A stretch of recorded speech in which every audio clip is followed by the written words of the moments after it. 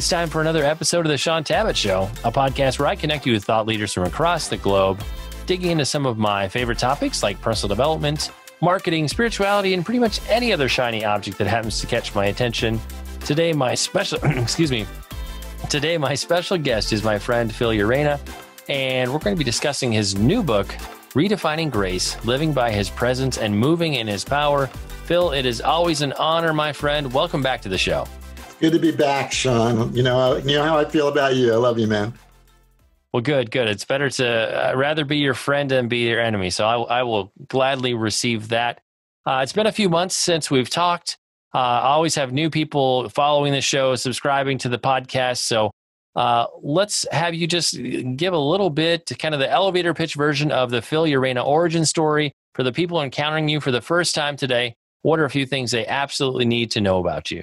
Okay, well, I'm uh, I'm Hispanic descent. I grew up on Long Island, about 30 minutes from New York City. I gave my life to the Lord in 1982. I'm an old guy. I was 27 at that time. Um, got into ministry three years later, actually a little less than three years.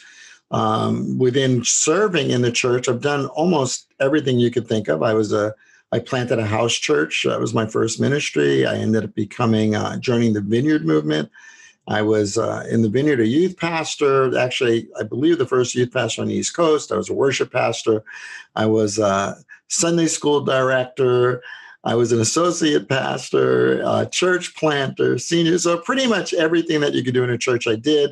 I've been doing itinerant ministry and and leading uh, church for the last eight years now, a little over eight years.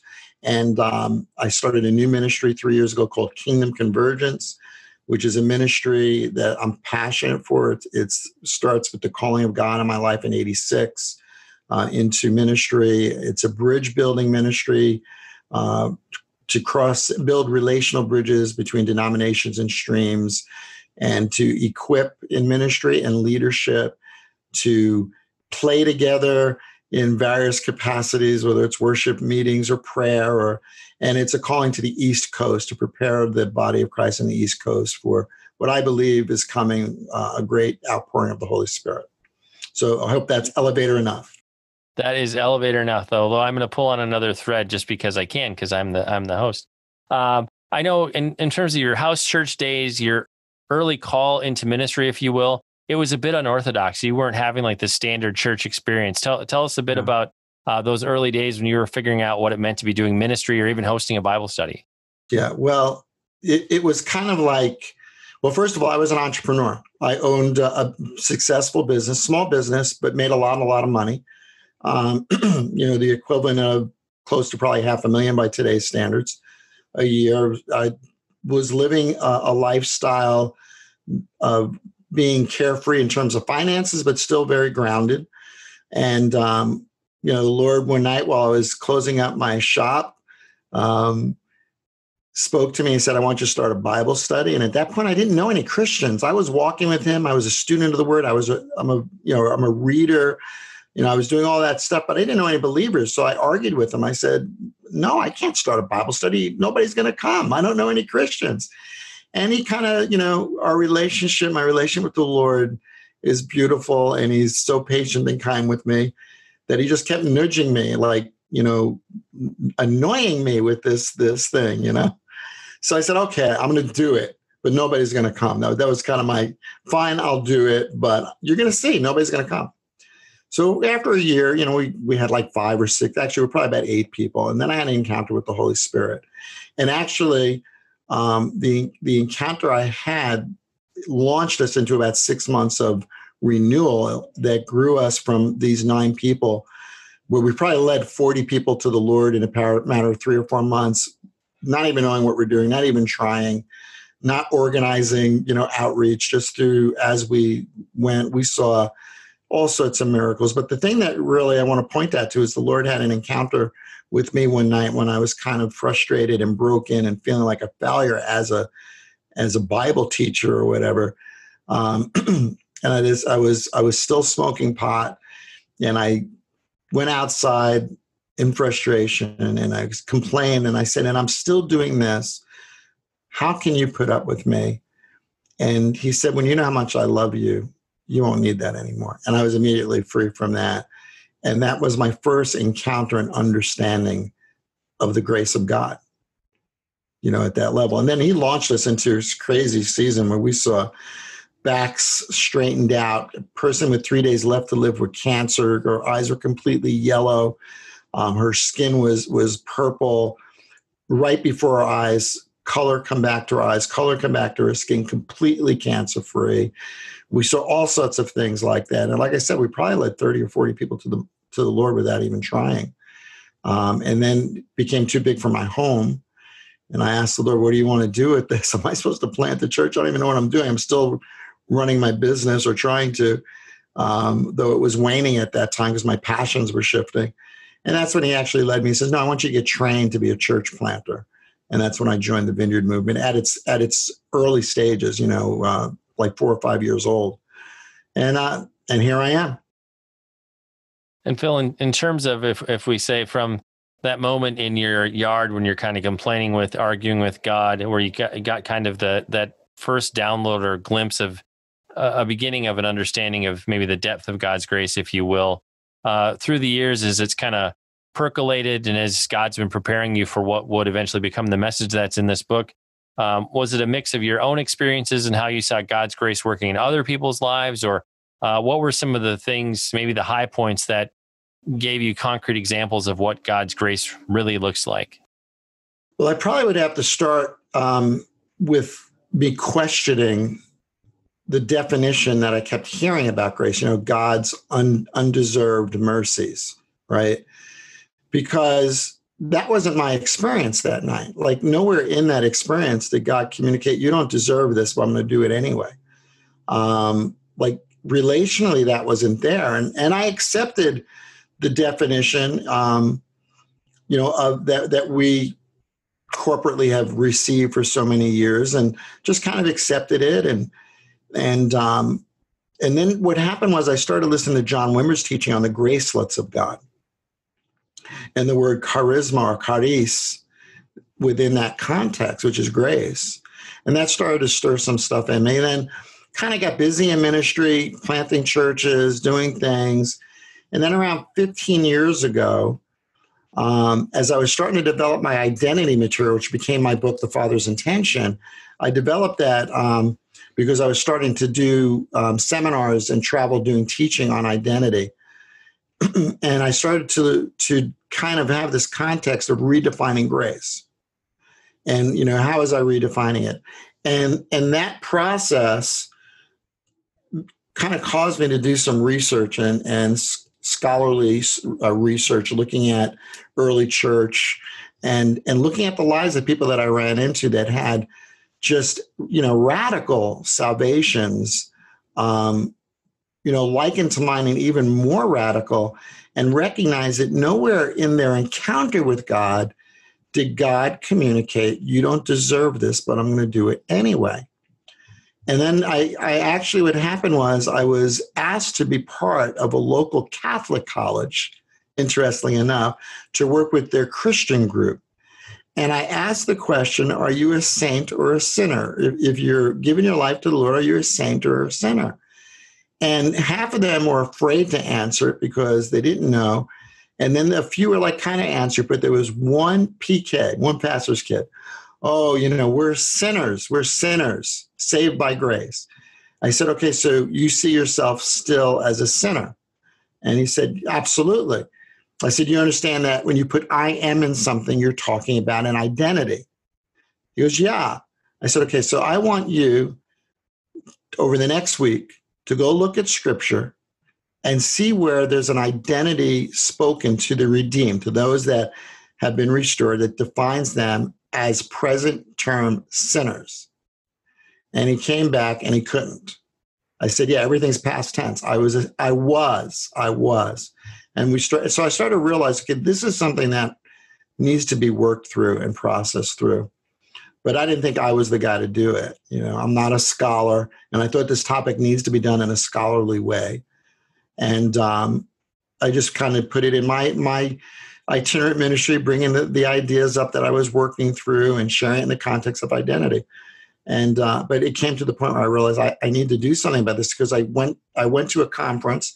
I was staying with pastor friends of mine that were integral in my learning about leadership in when I first came to the Lord. Amazing couple. And she just could not, when I was sharing this idea that the definition of of unmerited favor, undeserved, I didn't think was was actually the biblical message. She just couldn't get it. She got angry. She got, and I thought, Lord, there's there's a bondage to something here that's keeping people from fully understanding who you are and who they are around this particular theology. And I, I knew at that point I need to do something, but it took me about a decade to actually do it.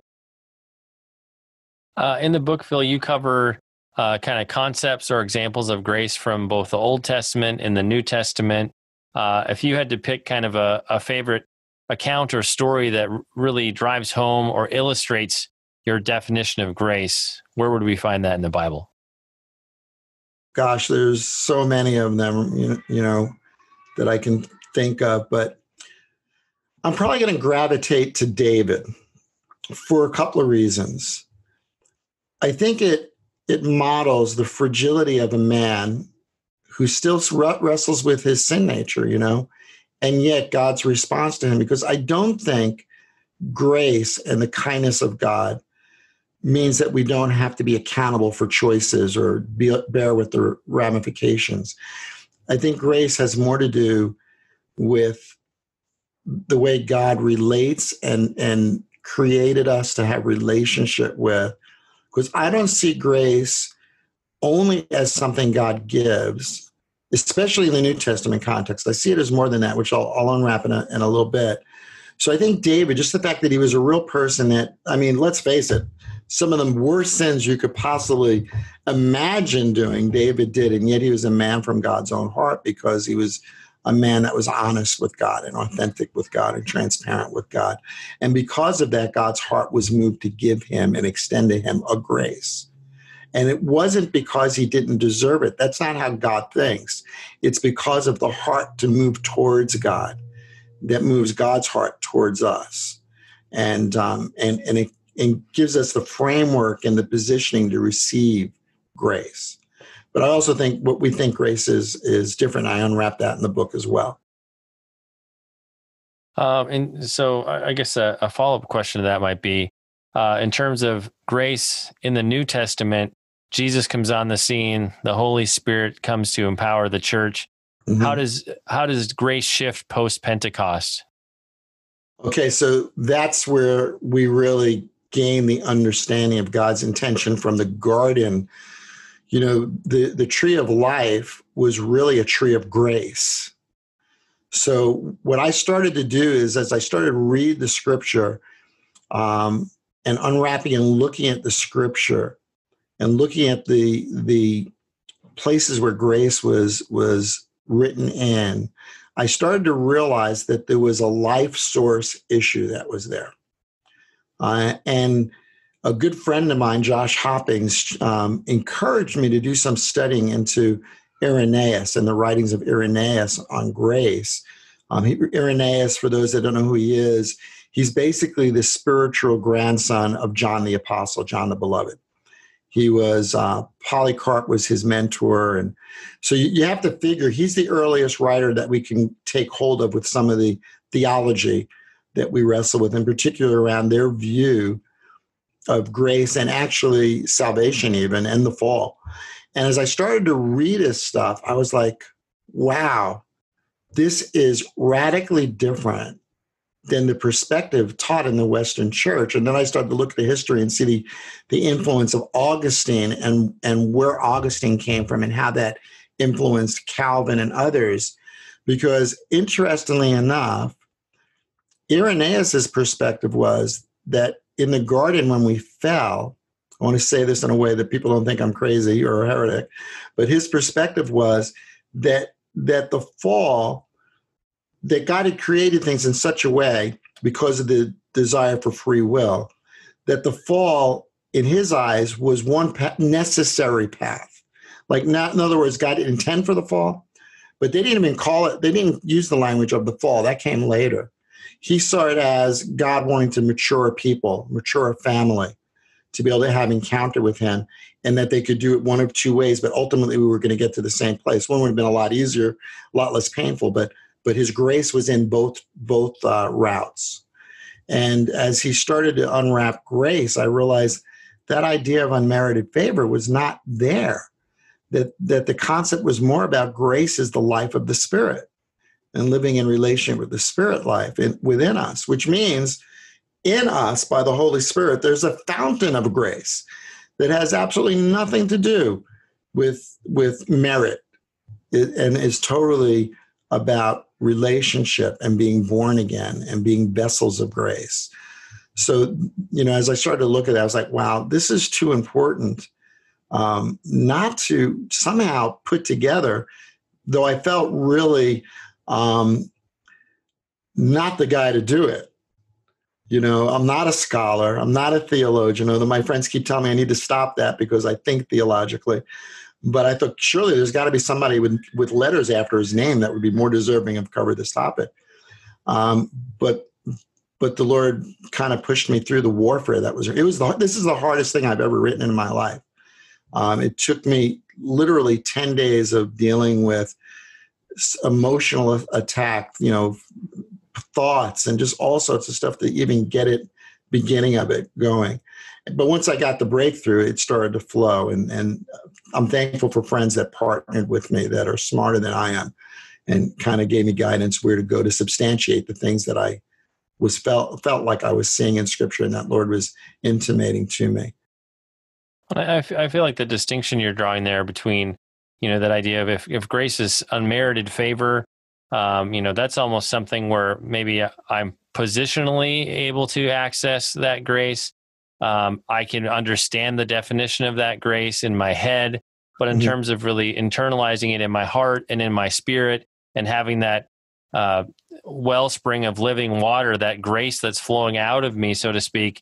Um, I, I, feel like those are maybe kind of two different journeys. If I if I look at my own journey coming out of a, a Lutheran background, marrying a Baptist girl, and, and being part of the Baptist church before moving into the Spirit empowered side of the church, there was a lot early on in my journey that I knew in my head, and it sort of touched the top of my heart.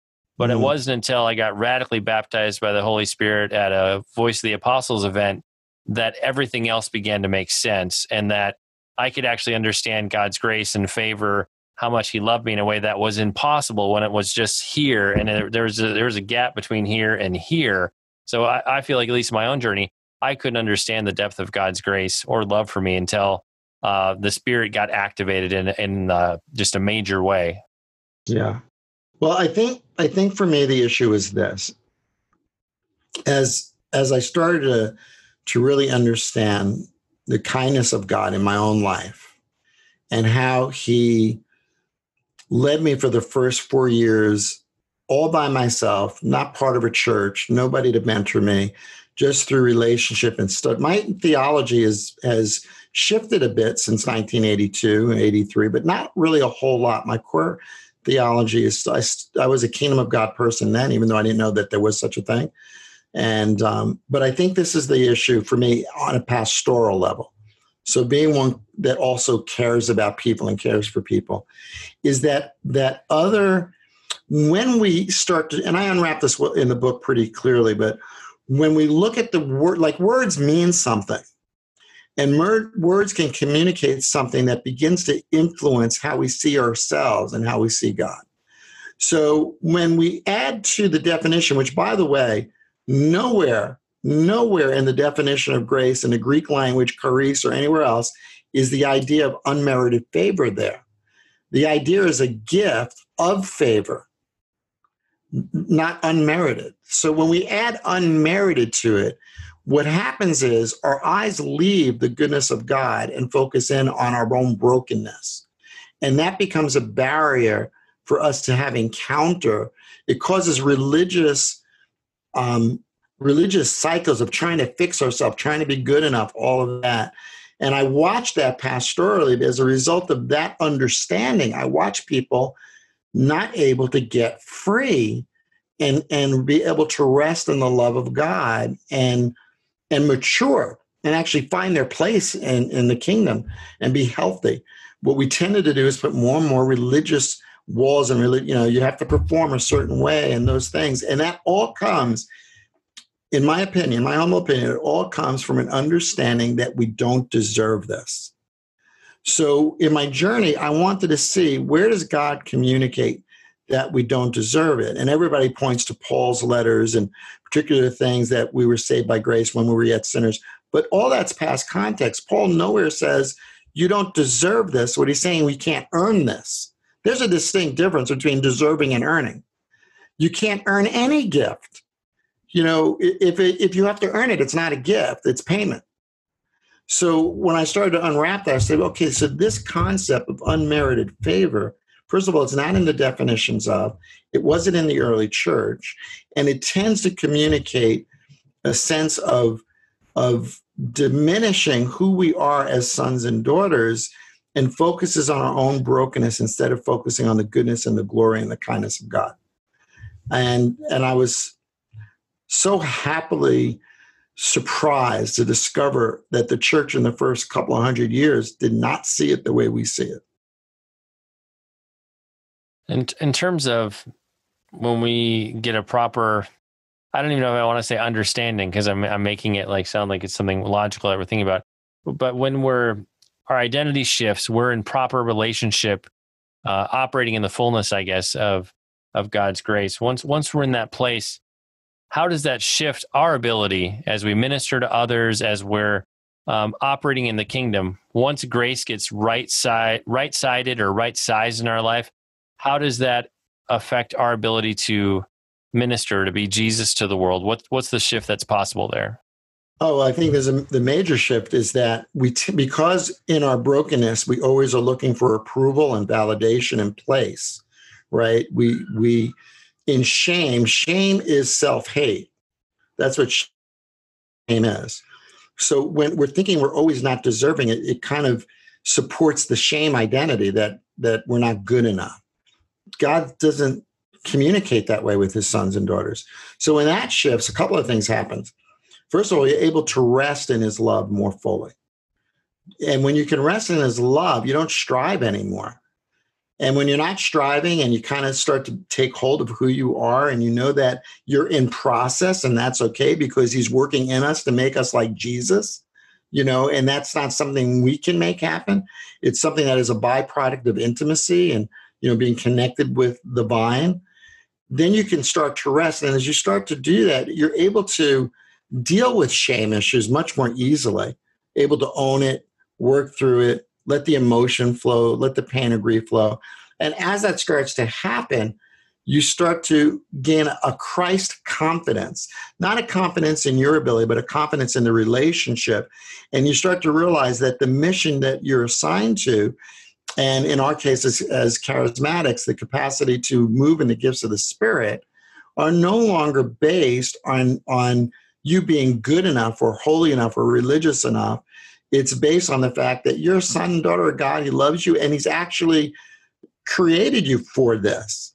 This is the life of the holy spirit that should naturally flow out of us. When people get healed in my ministry that's not me doing it. I'm just the the bridge that allows for the life of the spirit that's in me to flow and touch another life. That's grace. That's grace in action. So so grace becomes the life of the holy spirit working in us for us and through us so we walk in this beautiful partnership uh, as family and we release the life of, of god you know that grace is the active working life of God in us, you know, relationally. It's where, where Jesus says, I'm the way, the truth, and the life. Those things are connected. So the gracelets, the gifts of, of the Holy Spirit, they're just different expressions of God's life moving through us, the grace of God moving through us. Phill, if you could talk to that younger version of yourself who was mm-hmm. in your yard wrestling with God, starting to understand uh, just that beginning inklings of what God's grace meant. Uh, what, what, what would you communicate to that that younger version of yourself about maybe what you've learned on this side of the journey? Um, probably this, and it wouldn't be a lot different than what happened then, but probably this the revelation of his love is even bigger than what you just experienced. And it's even more intimate, and you can't lose it. As long as you keep your eyes on him, as long as you stay connected with him, you can't lose it. Because literally, at that moment, I was changed in that moment forever because I expected I don't deserve this. I will be punished. And what I got is, you don't understand how much I love you. So I would just say to that young guy, you're right. Don't stop pursuing the love, the intimacy, because you're on course. And don't worry about probably with some of the things I walk through, I would probably say, don't allow man to steal this from you. Because this is what it's all about. It's not about all those other things. It's not about ministry. And in terms of the reader's journey with redefining grace, when they get to that last page, uh, is it some of those same things you hope every reader captures, takes away from the book, or is uh, is what you'd like them to grasp maybe a little bit different? Well, I mean, there's so many things I go into the book. I really cram quite a bit in there. There's history in there. There's theology in there. I talk about predestination and free will, and that it's not either or; that they can actually work together in Christ. And at the end, the only supernatural stories I give are to are to demonstrate free will and predestination, how they can work together. Um, which I don't want to I don't want to share because they're they're crazy stories, and I mean I think they're crazy stories, but, um, crazy beautiful stories, but still, um, probably that. What I would desire for a reader to to to get from this is for them to understand there's a there's a freedom in the flow of God's love. You, listen, this is this is what I tell people. You can't take truth, light, or the way, love, and somehow separate them from life. Where you get the others, you get the other. Does that make sense? So, in other words, you can't walk in love, you can't walk in truth and not carry the life of Jesus Christ, the life of the Spirit. So, kind of like, hey, love yourself take a step back. Don't beat yourself up. Be honest with yourself. You know, I, I heard someone, I was at a meeting, a large conference where Todd White was. Um, I've met Todd a couple of times. We're not friends. He made a statement that offended people. And the statement was is that I don't sin. Now they were like, who is he to say they don't he doesn't sin? What is he wasn't saying he doesn't wrestle with sin. There's a distinct difference. He's saying, I just choose not to sin. Well, to me, why is that a problem? Shouldn't we all want to live that life? And I think the way you live that life is in intimacy with God and giving the Holy Spirit's life in you complete freedom and and saying no to things, saying no to things that would cause you to sin. And I think we're all we all can have that because it's the gift of God. So that's that would be one of the things that I would hope they'd come out of after this, that they would have, have an understanding that the life of the Spirit is grace working in you. It's not something that you do. It's not even something that God just gives you. He gave it to you. You've got it all. If you got the Holy Spirit, you got all the grace you ever need for anything. And and just take the pressure off. Stop striving so much. You know, don't be afraid to look at yourself in your brokenness and let God love you in that place and let Him transform you. And then go change the world where you live. Go touch lives where you, where you live as you go that that's I hope that's what people get out of it. And Phill, before we go, would you take a few moments to pray for the viewers, the listeners who are with us right now? Absolutely. So, Lord, I'm just thankful for Shaun and the platform to be able to um, have people share their hearts and uh, and share their journeys. I think those are really important things, God, because they connect us as we share. You know, the word testimony in the Hebrew Idduth means do it again.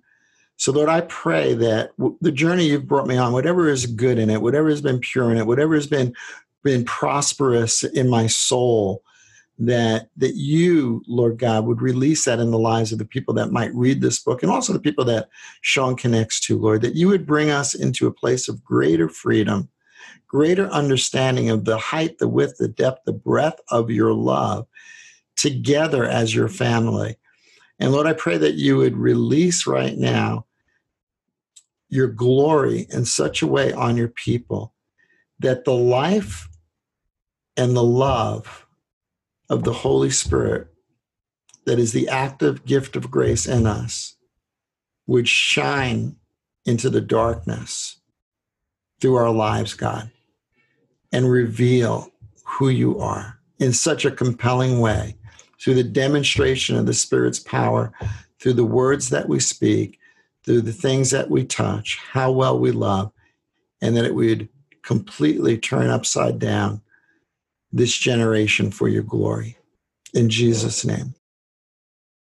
Amen. Amen. Thank you so much for that, Phill. And Phill, for the listeners, the viewers who'd like to connect with you, find out more about your ministry, find out more about your book, where can we connect with you on the web? Okay, go to www.kingdomconvergence.com. Um, we do a lot of things at Kingdom Convergence. There's stuff there for everybody.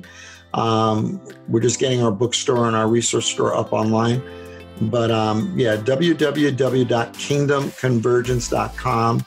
And on there, you'll see information about our school, Convergence School of Ministry, and some of the other things that we do. And like we do with every episode, we'll have detailed links in the show notes, places where you can connect with Phill and pick up your very own copy of this new book. It's time to bring this episode of the Shaun Tabatt Show to a close. Many thanks for being a part of my conversation with Phill Urena. Once again, our book today was Redefining Grace, Living by His Presence and Moving in His Power. And again, if you'd like to find out more about Phill and his ministry and his books, head on over to kingdomconvergence.com. And Phill, I just want to say thank you so much for sharing with us today. It's been a pleasure and a joy to have you back on the show. My pleasure, my friend.